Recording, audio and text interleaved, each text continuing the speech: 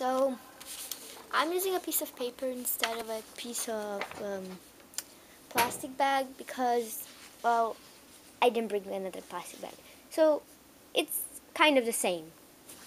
So you, if it's a rectangle piece of paper, you just put it like this. Make sure so it's straight. And then you cut it out here.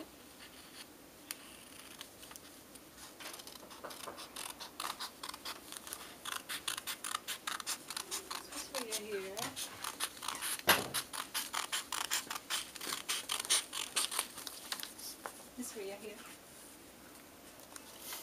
So you make it into a square and then you make it into a rectangle then.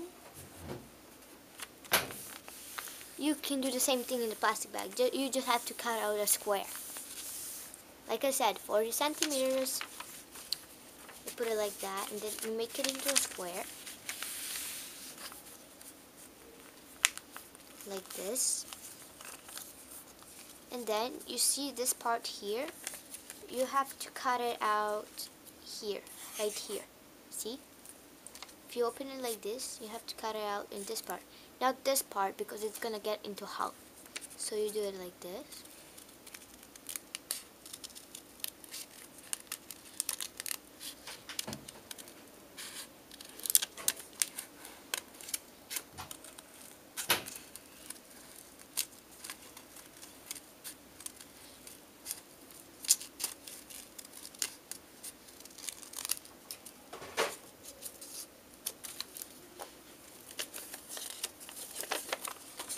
how it should look like.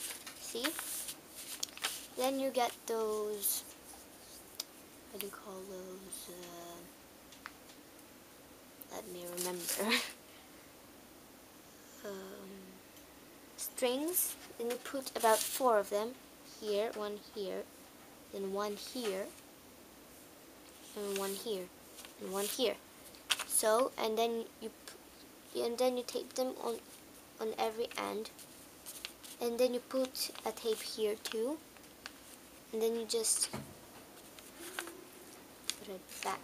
Then, then you just put a tape here too. Yeah it said that. So then then you get all those strings together and then tie them here. Then you tie them there. And then you got a parachute. Thank you for watching